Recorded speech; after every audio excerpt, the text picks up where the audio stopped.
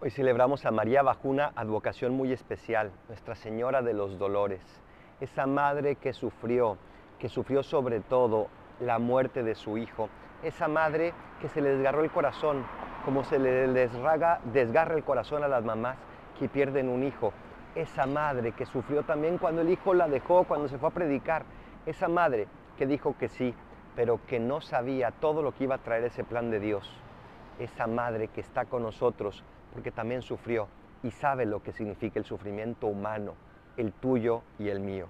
Gracias María por estar con nosotros y enseñarnos que Cristo es capaz de redimir el dolor y que tú nos puedes enseñar cómo seguirlo. Soy el Padre Adolfo. Recen por mí, yo rezo por ustedes. Bendiciones.